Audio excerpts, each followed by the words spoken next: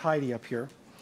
Uh, I'm P.J. Crowley, a former Assistant Secretary of State, a fellow at the George Washington University Institute for Public Diplomacy and Global Communication.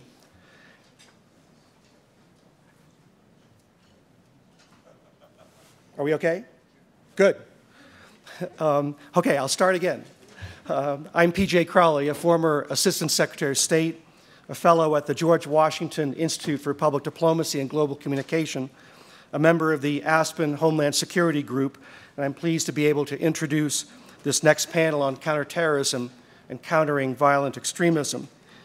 You know, based on the discussion so far, there appears to be a consensus that the United States has an important stake in this challenge and a role to play, but will not be the most credible messenger. There is also consensus that the most credible messengers will come from the Middle East and the Islamic world.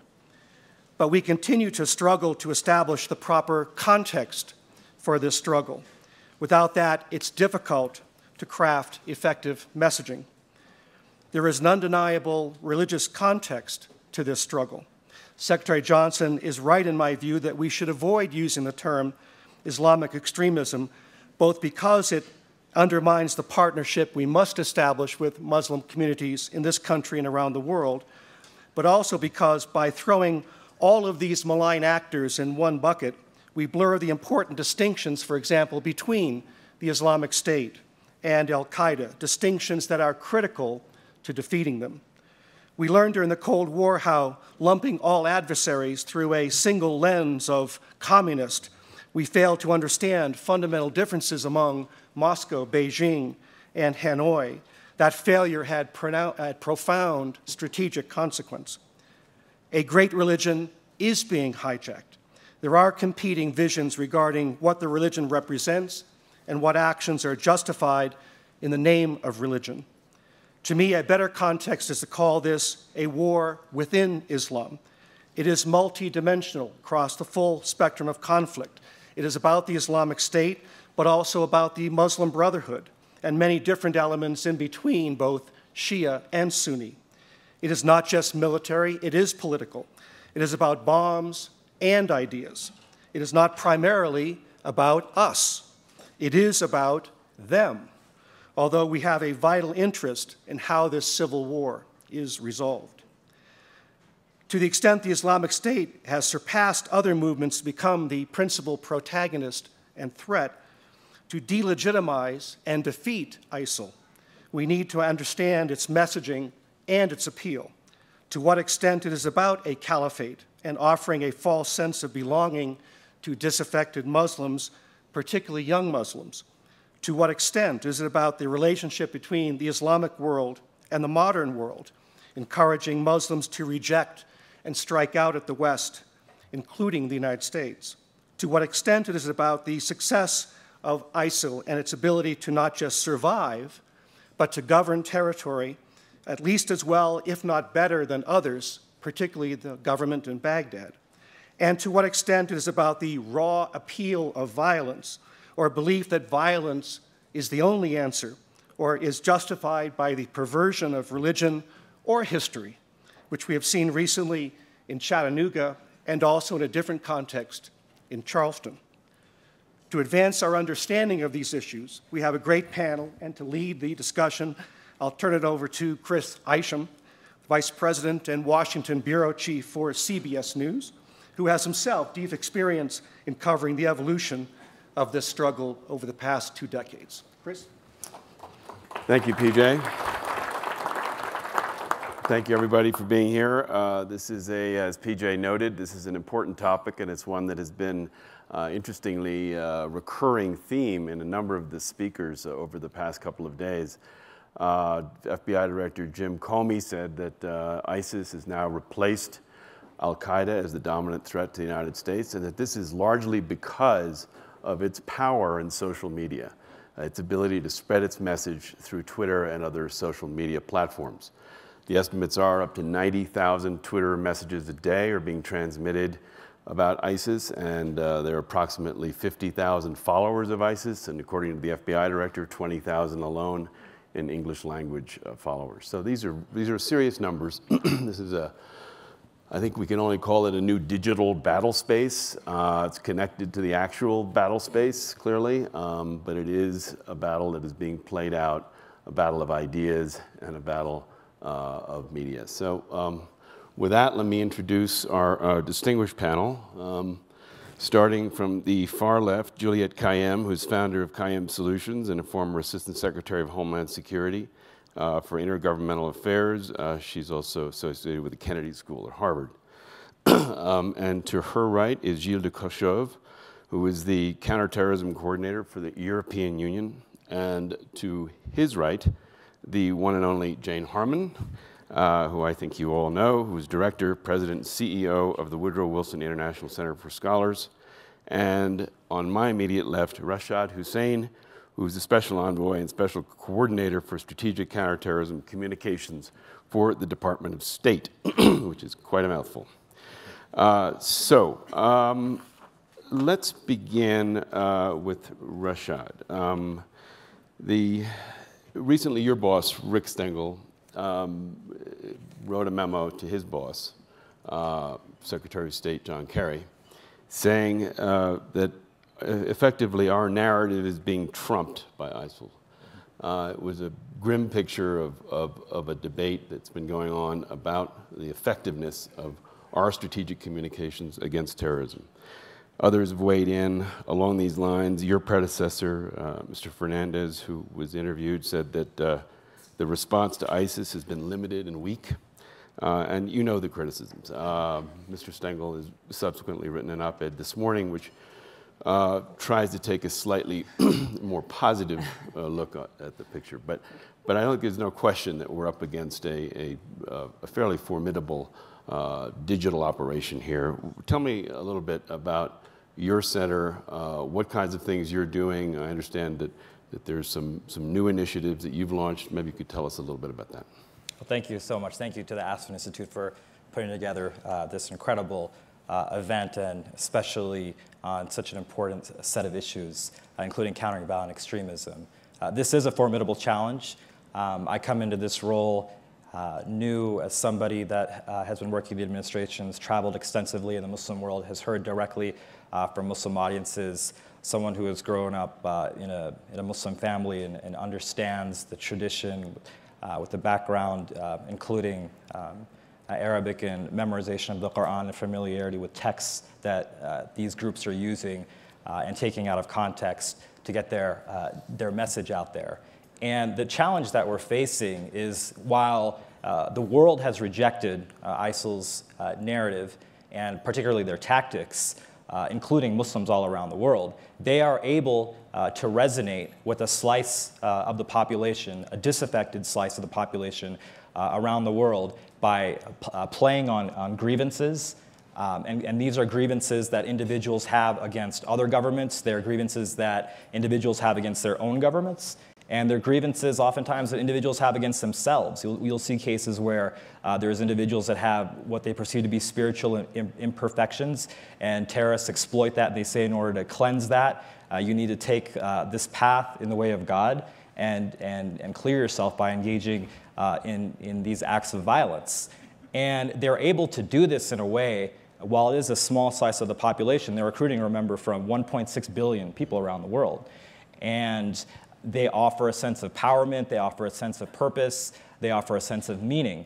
Um, and so, what we have to do is we have to make sure that we are not only uh, providing uh, a positive vision and that Muslim communities around the world are providing uh, positive alternatives to what they're calling people to do, which is to come and establish so-called uh, uh, Islamic State. But we have to make sure that we're providing counter narratives that are, that are effective. And, and we've uh, taken the, uh, an approach uh, that has shifted uh, our strategy in a couple of different ways. First of all, uh, we are, we're revamping uh, our messaging since I came into this role to make sure that we are emphasizing that these groups are actually doing more damage to Islam and Muslims. They claim to be the defenders of Sunni Islam. They say that Sunnis are under attack in Syria. They say Sunnis are under attack uh, in Iraq and that you have to come and defend these lands. Well, actually, Sunni Muslims are the, are the largest victims uh, of their terrorism. And we have to make sure that we're clear about the fact that they're doing damage more to, to Muslim communities than anyone else. We have to amplify the stories of defectors um, and former radicals who at some point have bought into this ideology and come back and say, what I was doing and what I was told to do was nothing what, as what was advertised. Uh, you know, I was engaged in killing innocent people. Uh, women were held as slaves and brutalized and raped. And when we amplify those stories, we start to put seeds of doubt into the minds of those that may be on the fence. And more importantly, perhaps we prevent people from ever getting to the point where they're on the fence. We have to amplify the fact that there have been uh, there has been resistance to ISIS, and that there have been some successes on the battlefield, particularly in Iraq, where we've regained 25 to 30 percent of the tor- territory which they've acquired. We have to amplify the living conditions under ISIL. No electricity, no water in some of these places. They p- paint a picture of what life is like in Mosul or what life is like in other parts of, uh, of, of, uh, of, their, uh, uh, of the region. But we have to be clear about what's actually ha- happening there. Um, and we also have to amplify credible voices, not just religious leaders, but those who have been subject to, to rule under ISIL and those who have seen uh, what it's like to be brutalized um, in their rule, under their rule. Um, and so we've taken this approach, which is more factual and testimonial in nature, which we feel is an appropriate place for the US government. Now, there are others out there that will directly uh, get into the more normative uh, religious aspects of the ideology. Um, that's not necessarily the best place for the United States government. so we're working. But could you talk a little bit about what specifically your center is doing? Sure. Uh, so uh, one aspect of it is there's direct uh, engagement on social media platforms. Now, a lot of people know about what we're doing in English, and I talked about the shift that we've made. I think before there was sometimes um, satire used, and there was um, but this isn't this like my, my name is Bob and I work at the State Department and yeah. you guys really don't have this right. Is, yeah. that, is that what you're talking about? Yeah, I mean, there, well, there is a sense of there is a sense of you know there is tweeting directly at terrorists. There's a sense of some of the messages being satirical in nature, and so part of the shift is to focus on the areas which I've spoken about, the more factual and testimonial areas, and doing that not only in English, which a lot of people see, but in social media platforms in Somali, uh, in Urdu, in Arabic, and then the second uh, part of the strategy, which I, which I want to talk about a little bit, is working with partners overseas to make sure that they are amplifying uh, these messages and also getting into aspects of the debate, which are kind of the more uh, normative or religious in nature, and they can counter that. Fusion center with the UAE. So one of the partners that we worked with, the UAE, we had this uh, notion um, earlier this year, last year, uh, that there's other countries in the world and other, non, more importantly, non-governmental organizations in the world that are uh, outraged by what ISIL is doing and other countries and other partners need to step up as well. This is not the, just the United States against ISIL, this is the world against ISIL, and particularly, um, as PJ was talking about, the Muslim world against ISIL, and sometimes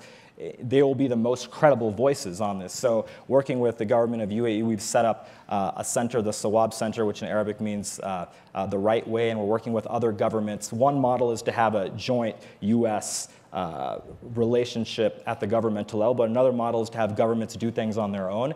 Another model is to have non governmental entities getting these messages out there. So, this is a generational challenge. It's a formidable struggle. We didn't get here overnight. Part of the challenge is that this ideology has been building up over time. And we have to understand why some people are attracted to this ideology, this notion of the khilafah or the, or the caliphate. There's a romantic notion that many Muslims around the world have going back to the early caliphs in Islam. Of course, those caliphs are nothing like what Baghdadi is, who claims to be uh, you know, the caliph. And 122 of the most prominent Muslims around the world wrote a letter to Baghdadi saying, You aren't uh, the caliph, and what you're doing is wrong. Uh, but there is that notion of romantic notion of Muslim unity um, that they try to tap into and appeal to. There is, there are grievances, as I said. They, they're grievance, policy grievances, and some of them are based on misunderstanding. Well, uh, let, us let's come, let's come back to that yeah. in a minute. Uh, I'd like to just uh, hear from Jane for a moment.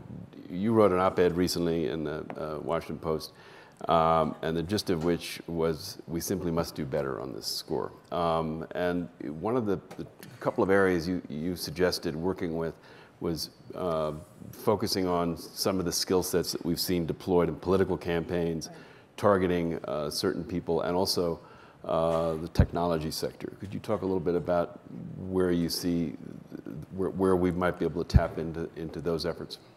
Well, let me first uh, congratulate the State Department on hiring Rashid. Uh, he brings skills that they, we, our nation, our world needs. And uh, I think what he's doing is extremely worthy. But I don't think the State Department, regardless of hiring 1,000 Rashids, is going to make the sale. And that's what my op ed says. It, it, basically says that um, uh, in the technology space, where uh, the US government is lagging, and I don't think anybody would argue, I don't think Rashid would argue, uh, the way to make the sale is through skills that uh, the political sector has and that our government sector really doesn't have. Uh, think the Obama campaign in 2012 and think the campaigns of uh, most everybody, all 100 people running for president in, in 2016. Uh, they slice and dice the electorate. They know exactly who they need to reach, what states they're in, uh, and basically ignore the rest of us, or at least that's how I feel. Uh, but they, whoops, that's what happens. They are uh, targeting, micro targeting those people with messages on media that those people will respond to. And I don't think we're close in delivering the right messages to the right people. We need to intersect those people before they decide to engage in violent acts. Uh, the FBI and law enforcement, our JTTFs, are doing a good job of finding some of those people. And we really should congratulate them for doing that. Um, but more people have been wrapped up than work in the State Department on this effort. So let's understand how big the problem is. So my suggestion is uh, the government should uh, encourage, should lead from behind. This is a place where leading from behind really works. And encourage the private sector uh, directly or through public private partnerships to step up and do the things that the private sector in this country does brilliantly. Who invented the internet? Who is inventing these startups that find just that niche that can reach you and figure out what you want before you even know you wanted it? Who does these pop ups that are so annoying on, to me uh, on my phone or these other targeted messages where I'm pushed to want something? Uh, this is where, this is the technology of, of making the argument. And let me just make another piece. It's not just, although I think we have to win the war of ideas. We have to win the war of ideas, but we also have to win the war. And in that sense, it's very uh, encouraging uh, today to learn uh, that we have worked out a deal with the government of Turkey uh, so that we can base planes on two bases in Turkey, which will give us a significant lift in the air war uh, against ISIL in the Middle East. It will also um, hopefully scare the heck out of some of these groups operating there because obviously everybody understands how capable we are, but now we will have the, the, the option of doing a lot more. And so I think that's a piece of it. Another piece of it is that John Kerry and Ash Carter um, are, well, Ash is in the region, but John Kerry's going in a week or two uh, to meet with uh, the Gulf states. Ash Carter's meeting with Israel and then with Saudi Arabia. And they're talking about uh, this coalition effort that makes all the difference, uh, both in pushing back against Iran's uh, proxy terror groups, but also in pushing against ISIL. And to the extent that we can start to make significant visible progress in the war uh, against ISIL, our narrative gets much more effective. Well, thank you. Um, Gilles, uh, as the representative from EU, uh, Europe has been particularly hard hit by extremism. You have uh, more foreign fighters coming from Europe than certainly from this country. Uh, you've had the attacks at Charlie Hebdo and elsewhere. Um, so you really are at ground zero in many ways of this, uh, of this problem. Uh, tell us a little bit about from your perspective, what the kinds of initiatives the EU is interested in pursuing in, in combating this? Indeed, uh, a, a, real threat.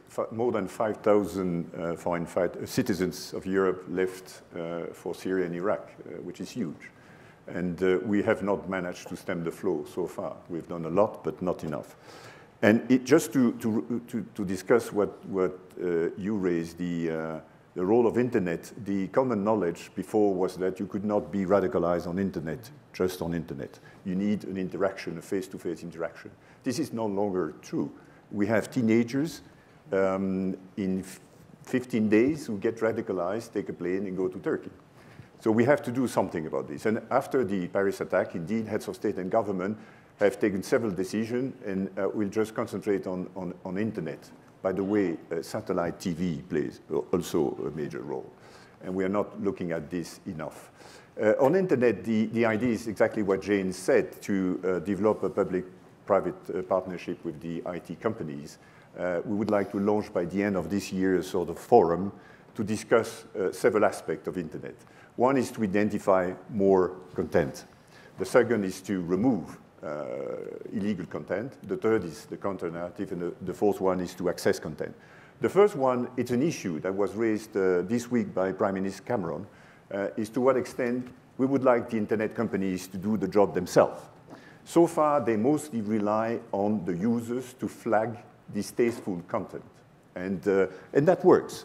Uh, we are currently setting up a unit at Europol, which is our FBI, where trained people do flag illegal content to the companies based on the uh, British experience where a special unit inside Scotland Yard do flag illegal content. And Google told us that when it's people from that unit, and they are specially trained to, to, to see the, the, the, difference between illegal content and distasteful content, uh, Google removed them in 93% of the time. When you and I, we do the same, we flag, and you can, you have a button, it only happens in 33% of the time. Why is it so? Because we may have different views on what is illegal and what is distasteful. So we have decided to set up a, a By team. illegal, you really mean uh, not in compliance with the policies of that particular internet. That's company. a good point. Yeah. Uh, we have a definition of terrorism, and it's difficult to, to really delineate what is illegal and, not legal. So, so far, um, the first step is to just rely on the terms and conditions of the IT companies. So they take themselves the decision. Uh, we, some of our members states would like to go further and just rely on the decision by the state to injunct, given injunctions uh, to the companies to remove the content. Uh, so that's the first step, and it's a good step. But would like the companies to do that more themselves. If you take YouTube has removed, I think, 14 million videos in 2014, and they get 190,000 uh, flags a day, which is huge. Twitter does that a lot, a, a, a lot less, and, and they, do, they don't do the job themselves. And what Cameron said in his speech this week, he said um, their business model is, is, precisely based on their capability to um, process data, extract data, and sell data. So they can do it for commercial purposes. They, they have done that, and they do that well for pedopornography uh, pictures on the internet. Why can't they do that more on uh, counterterrorism? So that's on removal. On counter-narrative, I fully agree with Rashid and, and what uh, Jane said. We need to do more. And I pushed uh, uh, during this year uh, an idea, uh, again based on the British experience, uh, of people coming from the advertisement world. They know how to convince Jane to buy a shampoo from L'Oreal and not from Garnier, while it's exactly the same shampoo. So they are ex excellent. now you tell us. they segment the audience they craft the message accordingly and so forth. Uh, government are not doing that very well, and so we have now a team uh, supported by the European Union advising uh, our member states to develop a more strategic communication. Uh, I, I, don't believe a lot of the, uh, on the uh, digital outreach team of the State Department or Guy John Smith telling that he's challenging the, the narrative on internet, but I think government still have to improve. Um, if you look at the reason why many Europeans went to Syria and Iraq at the outset, no, no longer uh, now. Uh, many had the feeling that the West was not supportive enough of the Syrian Spring. And so looking at TV and seeing all this ugly stuff, they thought they were, that was their duty as a Muslim to go there. So we have not been able to explain enough why, what we were doing. And by the way, if you look at the European Union, so far we have spent between 3 and 4 billion euro in humanitarian assistance. We don't tell people what we do, and we don't do that enough. And um, we have, I, I, turned to the commission, I said, why don't you explain better? And they say, we do. And they showed a lot of good publication, very costly publication. Nobody reads them. So it's just to train government to be more effective in its communication. But beside government, it's mainly civil society. It's uh, uh, indeed uh, the society, uh, but we have to help society to be uh, effective on internet. And by the way, that's what some internet companies are doing. They already train um, activists in, in, civil society like they train the uh, team in the campaign of Obama in 2012. Uh, so we, do, we need to do that more. So that's the other part of what we want to discuss with the IT companies. How can they help us to um, train and, and instruct the civil society to be uh, more effective. Credible voice, formers, uh, victims, families, and so forth. And the last point, but I don't touch upon that, but it was quite telling to listen to the discussion yesterday, is uh, access, uh, access to consent, uh, because of encryption. And not only that, for Europe is to get e-evidence, because we want to uh, bring these people to court, and we are not present in Syria. So the problem is that unless they leave electronic traces, uh, uh, how can we prove that they were fighting alongside ISIL and not with the Free Syrian Army? But we need to get access to the e-evidence, but most of them are stored in clouds in the US. And that requires MLA requests. So we have different arrangements. We need to clean up a bit all this. On encryption, I was a bit disappointed yesterday to, to listen to the head of the NSA and other colleagues saying, we don't see a solution most of these companies, they developed, and they are developing more and more sophisticated encryption devices because they want to secure their European market. We are fond of privacy, and it's a marketing argument, and they won't stop. And I see that uh, no one has a solution so far. Public-private partnership and discussion is, is needed. So we try to work on this uh, forefront. That's uh, very interesting. Thank you. Um, Juliette, I wonder if you could talk a little bit from your experience, both working for the state of Massachusetts and the Department of Homeland Security, a little bit about uh, engaging uh, local populations right. in the United States and, and um, particularly in, in ways in which they can help identify potential problems or red flags and whatnot. Great. So before I went into federal government, I was the state of Massachusetts Homeland Security Advisor. So was very involved with these efforts before they were called countering violent um, uh, extremism. They were more community outreach efforts, just a sort of typical thing that law enforcement does with communities uh, that are either a majority community or a minority community. So let me just start from the beginning uh, about the US. There are about 5 million mu uh, Muslims in the United States, 5, 5.5, I think. Um, they're different, right? Um, most Muslims in America are from African descent. Most Arabs in America, like myself, are Christian. So to talk about some notion of what we think may be difficult. So that's the first point. The second is only a handful of them are violent, right? If we ignore the 5 million that aren't, we're sort of ignoring their narrative. So I just wanted to make that, I'm sorry, I've been a little bit sick, so um, give me a second. Sorry. I'm the only person who gets sick in Aspen. Hold on. um, so I may have to pass for a second, but so that's essentially the narrative I want to tell you. Five million people are not violent. And if we isolate them through this process, we may enrage those who are not enraged. And I do believe that if in the process of the CVE process, we um, isolate members of the population um, in ways that make everyone else outside the population feel like Muslims are in danger or are dangerous. I really believe in that way the terrorists have won. In other words, if they make us feel that the Muslim population is scary and you know on the internet getting radicalized, that is bad, right? So we have to just I just want to put that 5 million in context. Just a handful of cases, just a handful of threats in the United States. So that's just sort of to put this in framework, but we have a threat, and it would be stupid to deny it. And that threat has to be addressed on the sort of hometown level, not the sort of uber international level. We have a threat internally in the United States. And so, how communities are addressing that is in a variety of ways because one size does not fit all. What is clear is that the movement of countering violent extremism is actually changed over time, or this, this government effort where it used to be focused on imams, right? So non Muslims think, oh, I got to go to the Muslim community, let's go to the imams. That is just no longer the case. The Muslim community is as diverse as any community. They are employed, they work at places like where you work, they are integrated into our society. That is the American success story. So our outreach efforts have to get beyond the imam and the mosque and actually engage Muslims in their own society, which is our society. And so that's the second point. So the change in sort of the tactics has now been that what we need to do is um, essentially recognize that the one thing that all the terrorist threats have had in common in the United States is not that they come from a similar background, not that they come from similar schools, not that they're from the East or West Coast. They actually have no common narrative except this they are sons of mothers. They are sons of fathers. They are brothers. They have sisters. They have employees. They are integrated into our society. So, by using the countering violent extremism effort, which is going on in all different communities Detroit, Boston, um, New York, Florida, everywhere else. What we can do is actually engage all of the Islamic society, which is, as I said, not radicalized.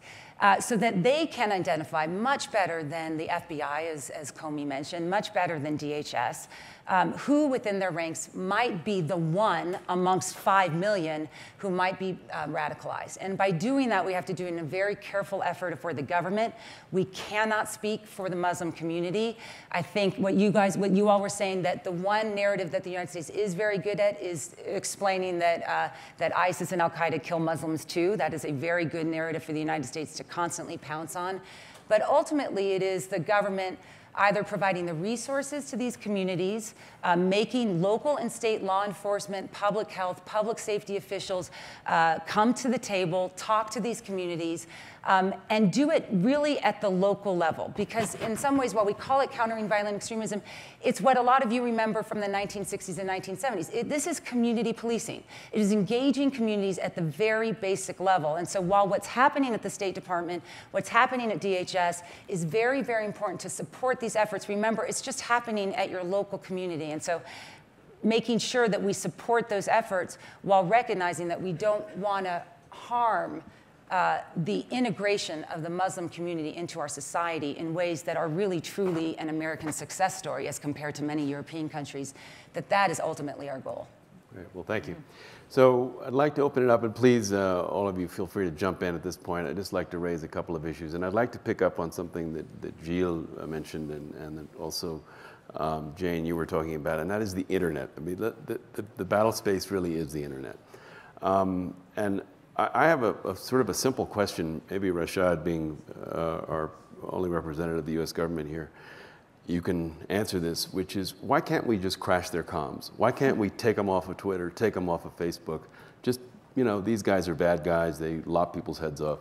Uh, they have, uh, we, would like to just, just take, them out, take them out of business on the internet. Well, there, there is a process by which uh, the social media companies are upholding their own terms of service. So, you know, oftentimes this is thought of as kind of a heavy-handed approach where, you know, will a government come in and just uh, turn off uh, these sites, as is done in some countries.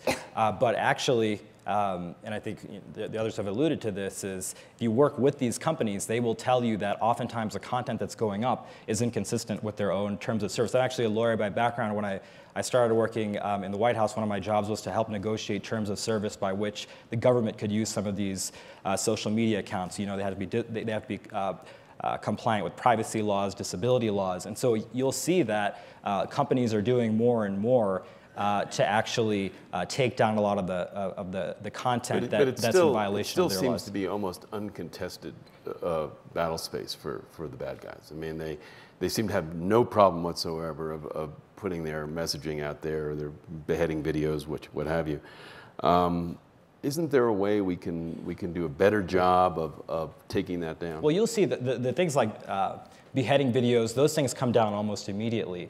Where you have difficulty is when uh, there is speech that is advocating uh, extremist ideas that might ne- not necessarily cross the line into something illegal. Now, it may lead to activity uh, by a recruit, but that's where it's really important to work in, in, in cooperation with the private sector, and this cannot just be a government approach you know, when you talk about contesting the space, part of the challenge that we have is that if you, if you do a search for the term Daesh, which is the uh, pejorative Arabic term for ISIL, you will see, you know, you mentioned the number 90,000, you'll see more than 90,000.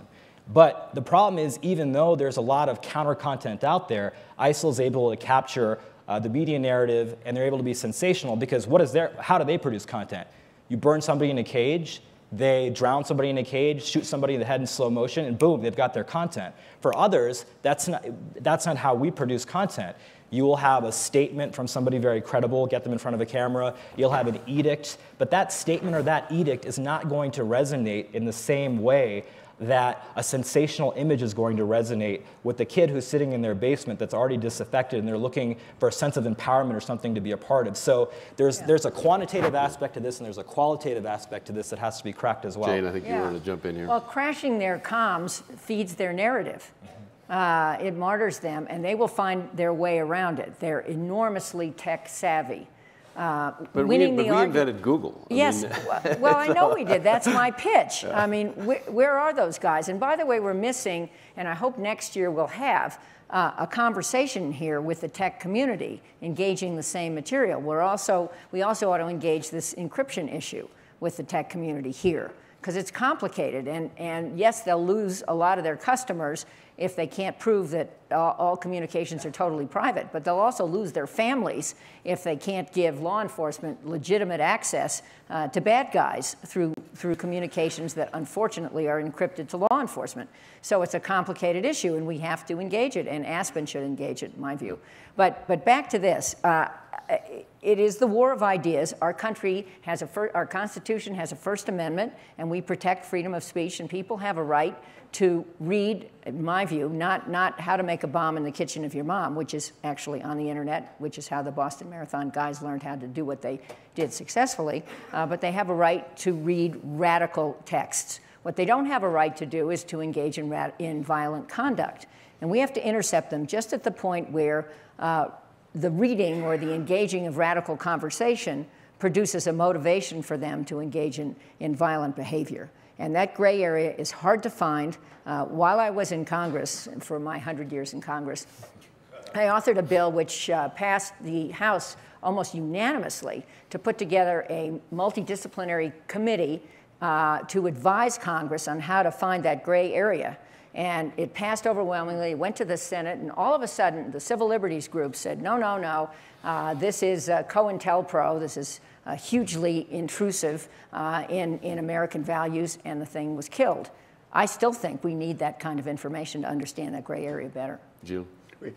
I think we need to do both. We need to increase the number of content we remove from internet. And I'm aware of the First Amendment. In Europe, we are divided on the same line, around the same line. We have member states where if you uh, deny the Holocaust, uh, you will end up in a criminal court, while in other member states, you can say that and, and there is no problem. So we know the problem, but I think we can improve a lot. Some of the IT companies don't do enough. And that's what the Prime Minister of, of, of uh, uh, Britain said in his speech.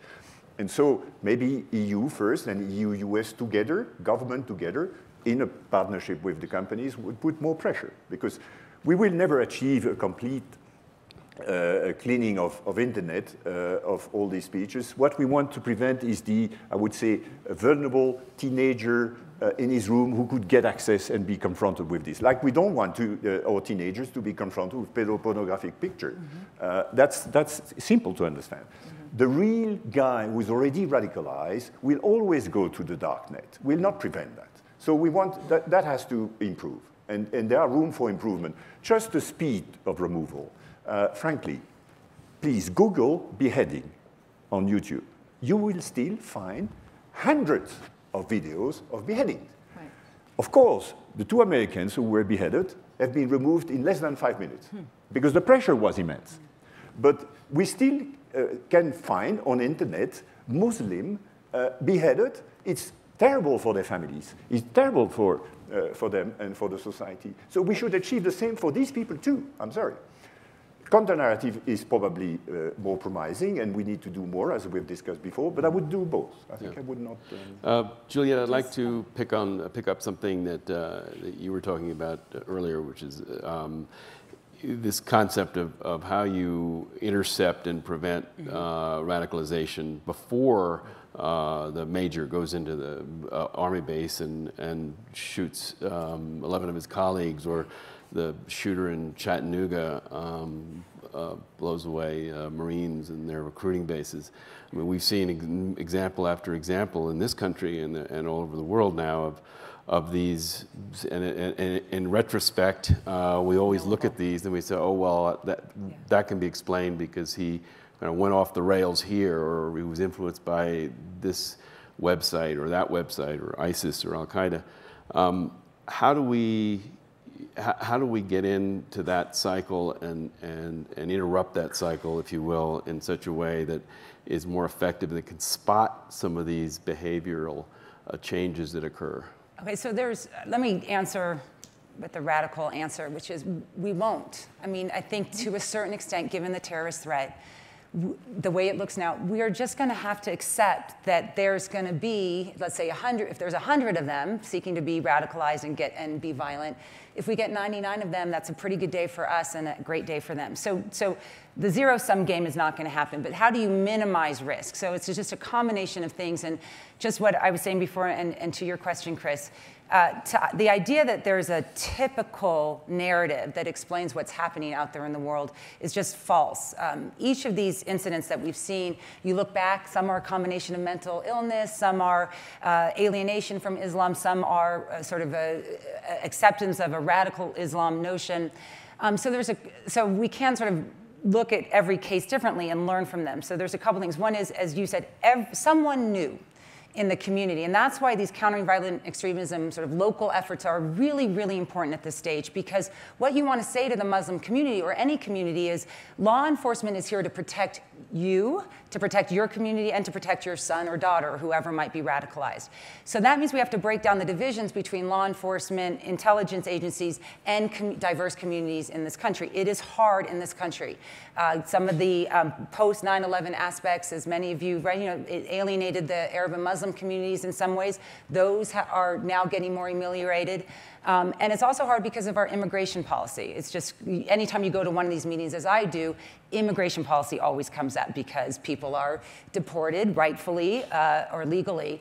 And so those issues will come up in these discussions. The, the second area, and I just want to pick up on this counter narrative, the, the ISIS's narrative, at least in the US, if, if, you look at some of these websites, is not necessarily the beheadings. It's what we called a jihad chic.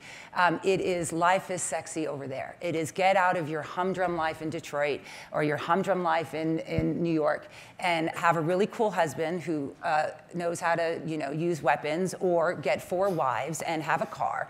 And so what we need is that counter narrative that life really is hell and you will die uh, if you go over there. And I think that it's important, therefore, that we have to think differently about these formers.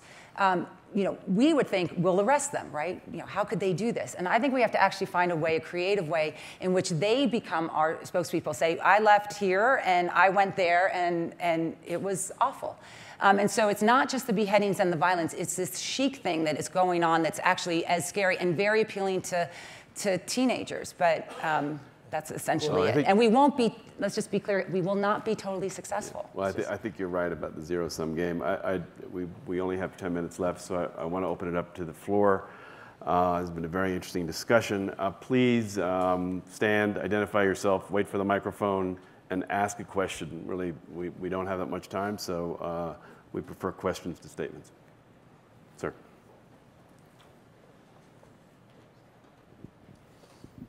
Thank you. I'm Mark Trebellion, one of the Aspen Scholars.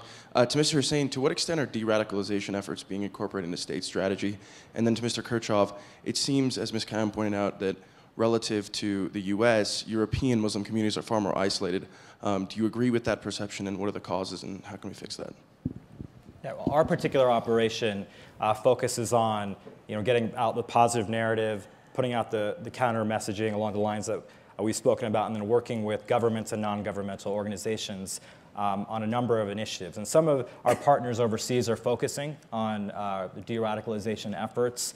Uh, there's an interesting point that Juliette brought out about formers. And I, I, would say you, you still arrest them and you still prosecute them, but just like in other criminal contexts, you know, whether it's a drug context or, or gang context, you have prosecutorial discretion for those that cooperate in the sense of I'm going to get out there and tell my story. I'm going to record a statement about how bad life was actually under ISIL.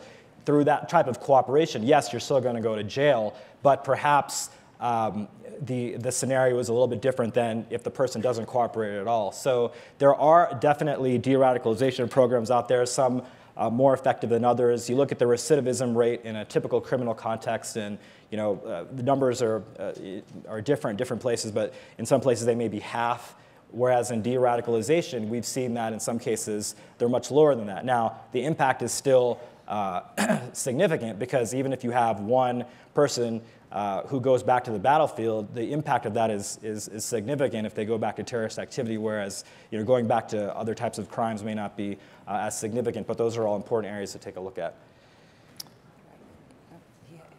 Yeah, I had a question. Oh, Gilles had.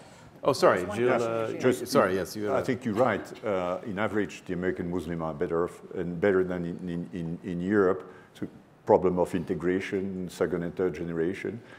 And we have to develop policies, but they should not be linked to counterterrorism. It would be a big mistake. So I usually distinguish between what I call CT related, that's what we are discussing. It's really to prevent radicalization leading to terrorism, and a soft policy, contextual policy, where you improve the way uh, or Muslim uh, Europeans are feeling. They develop in, in society. It's the fight against discrimination. It's a lot of policies of terms of education, urban development, uh, integration. So, but that has to happen, but it should be completely disconnected from. One of the problems with the counter narrative is that, as I think Rashad pointed out earlier, is that the, there are legitimate grievances in the Muslim world, such as Syria, where people see uh, day after day these images of uh, brutal uh, barrel bombing and chemical weapons attacks and young children being killed, and, and most of them being Sunnis uh, and most of them being civilians.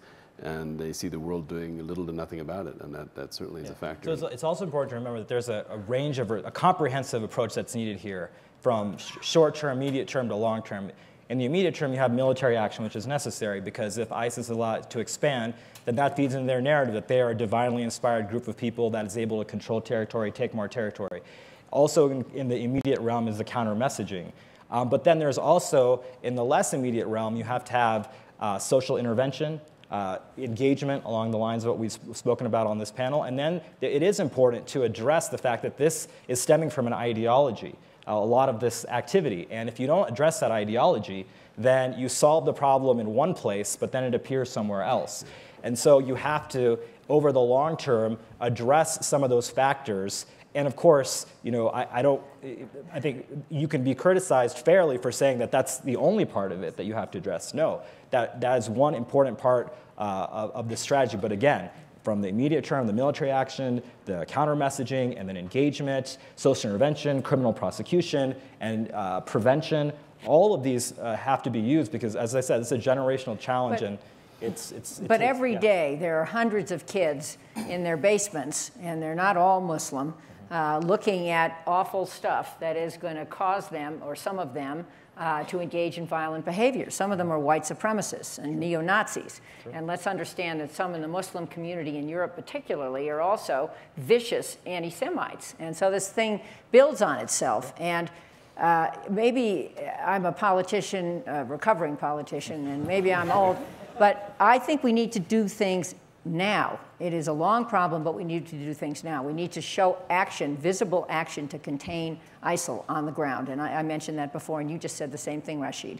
And we need to get the tech companies to help us get in the faces and in the pockets where the Twitter handles are vibrating of these kids.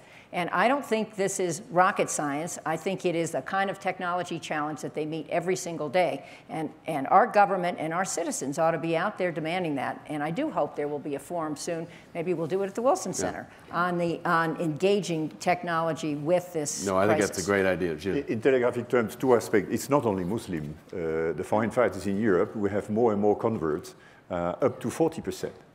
Uh, Christian, Jews, Bud- even Buddhist.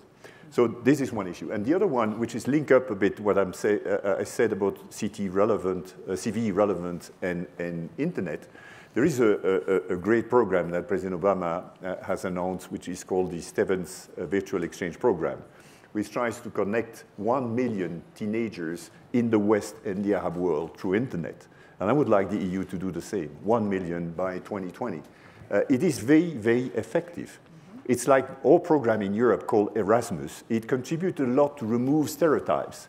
And you, if you connect a class in the south of Cairo and a class in Aspen for one year, the same teacher, geography or history, for the first two months they will have stereotypes towards each other. Uh, the Jews, the conspiracy, a lot of conspiracy theory in the Middle East. But after two months, they will realize they love the same songs, the same uh, uh, ideas, and, and, and I think it's, it's a quite useful um, mechanism. We That's a, should ver- promote that's a very interesting uh, idea. Um, in the back, Ambassador. Uh, Lukman Faily, Iraq ambassador.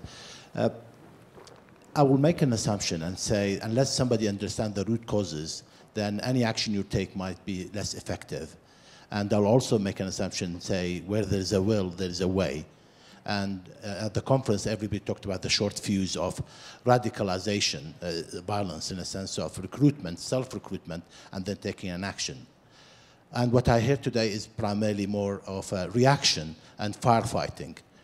My question is, do you think in the United States and European have the will for understanding the root causes, and do they have the tenaciousness of the marathon run required for resolving these issues? Rashad, I'll let you uh, handle yeah, that I mean, one. As I was just mentioning, there is, there is an immediate uh, uh, aspect of this problem that has to be dealt with in a very decisive way right now. And you have military action that's taking place. You have counter messaging that's think taking you, place. you said it was the ideology. What, And at what- the what that time- ideology? At the same time, you do have uh, a warped ideology which is playing off of themes uh, that people exploit uh, and warp and draw people towards. And here it's important to remember that this is not going to be just one government or the United States that can deal with this problem. To the extent that you have countries that are allowing this uh, ideology to spread and this ideology, ideology to be exported, we're going to continue to have this problem on our hand. And so part of what uh, we're doing and what we need to continue to do more of is work with countries uh, to make sure that they're not allowed to, that this ideology is not allowed to be exported. But then, at, very fundamentally, uh, to go to the question, there's a breakdown in education in, in many parts of the Muslim world, both religious education and secular education.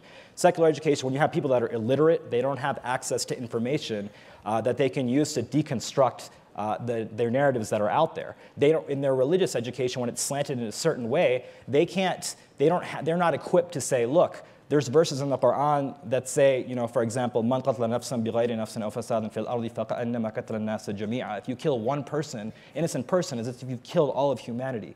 Now, I've seen people make these types of arguments to so-called, you know, uh, to, to radicals, and they just they can't answer oftentimes very basic points when when when they when there's counter arguments from within the tradition that are put toward them, and so you have to have uh, a long-term solution in addition to uh, the very immediate necessary steps which we're talking about. Part of that, the president, when he hosted the, the White House summit uh, on countering violent extremism, part of, it, of, of, the purpose of that is to make sure that we're getting to those solutions as well, that we're working with the private sector and non-governmental actors and those that have more agility uh, to address these problems. Ambassador, I wanted to just follow up on your question. The, I often say that Homeland Security is as much about security as it is about the homeland. And just to describe, um, root causes are important, but when you actually get to the homeland and how these processes work, in a state like mine, um, I oversaw 351 cities and towns.